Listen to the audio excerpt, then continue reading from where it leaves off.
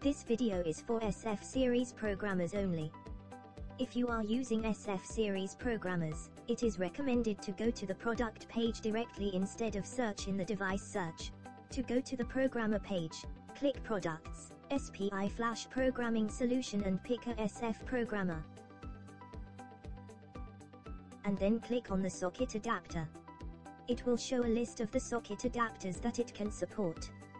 If you know the IC package or IC size, which usually will be shown in the datasheet, you can search the package first.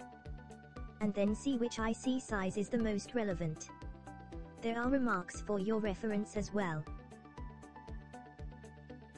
After clicking on the adapter's name, it will take you to the adapters page. And click here. It will show you the supported device list. And the fastest way to find your device is to press Ctrl F and enter your IC part number. If your IC is not on the list, please check on other adapters. If you are already in the device search page, you can click on the arrow symbol next to the programmer model, and it will take you to its product page. Or you can select the programmer model. Or fill out these fields. Here are some search tips. These are general rules for IC part number. You can just type in the device family and click search.